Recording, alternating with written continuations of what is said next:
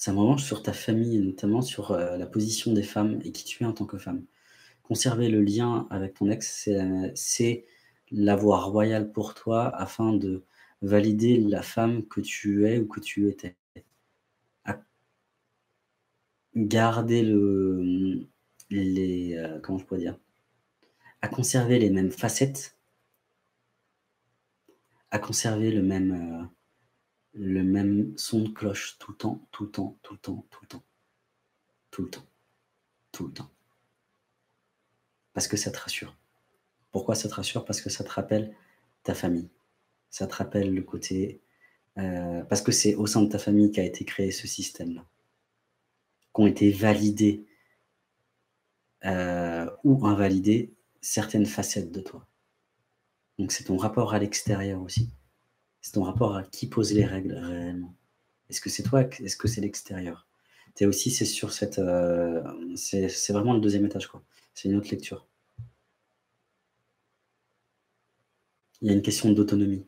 Est-ce que tu es capable de prendre réellement ton autonomie en étant seule face à toi-même? Ou est-ce que c'est quelque chose de beaucoup trop engageant pour toi? Parce qu'au final, tu as peut-être, heu, peut-être que tu balises pour, heu, d'être en face du miroir, comme on dit.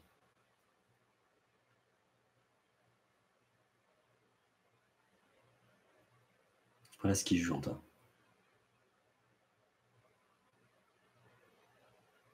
Tu as presque été trop choyée. Et tu t'es il y a une sorte de complaisance. Tu te complais dans cette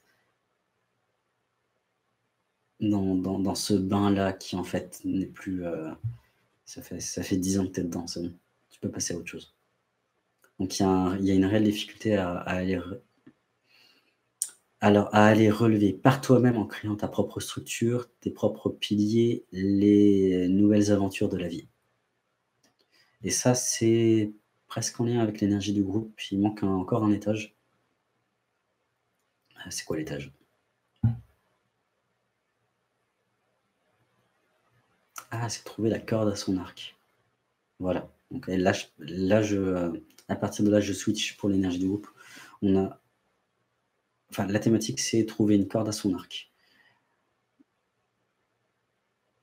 On est quelqu'un qui avons, bah, possédons un arc, dont la corde est beaucoup trop détendue. On a des flèches, on a tout ce qu'il faut, on a appris à tirer à l'arc, mais on se refuse à décocher une flèche et à la mettre dans la corde pour la tirer afin de voir ce qui nous permettrait de voir que la corde est réellement détendue et qu'il faut la tendre. Cette, heu, image un peu bizarre pour dire quoi? Par rapport au groupe qui rêve en fait, cette image révèle du groupe qu'on veut, heu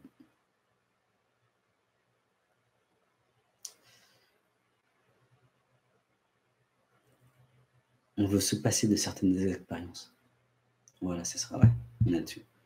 Ça me dit: «Je veux me passer de certaines expériences, heu, je veux me trouver beau sans avoir à me salir».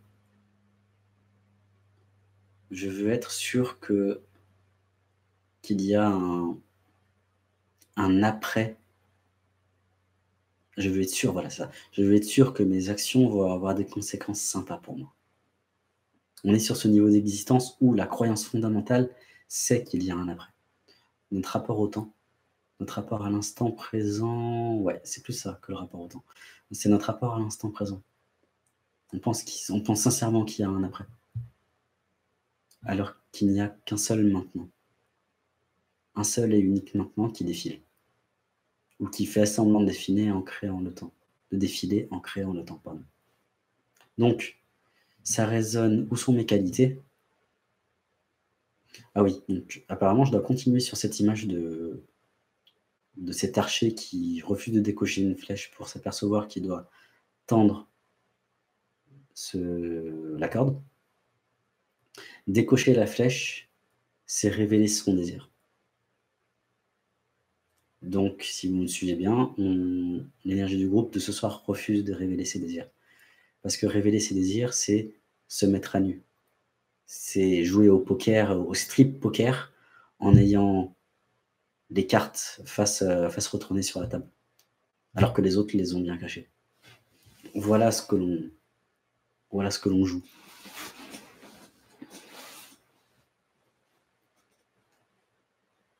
On se sent faible, voire ignorant.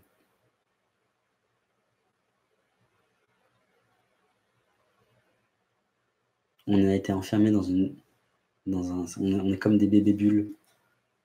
On a été... Euh, on a été enfermé encore et encore et encore et encore dans des croyances, dans un marasme total qui nous a coupé. Euh, qui nous a coupé de quoi du coup? Là, je me branche dessus. Euh, notre bienveillance envers nous-mêmes. Et que, voilà, ça. La meilleure bienveillance envers nous-mêmes, c'est de parfois aller mettre des claques aux autres. C'est de pouvoir dire non c'est de pouvoir prendre à bras le corps notre décision, notre choix, de pouvoir déjà aller connecter quel est mon choix, ensuite d'avoir les tripes de le mettre en place. Et pour reprendre l'exemple d'Anne-Claire, de couper les ponts avec quelqu'un. ça se, résume très bien, ça se résume très bien en disant la meilleure manière de se dire oui à soi, c'est de dire non à l'autre. Voilà. Belle soirée à toi, Anne-Claire.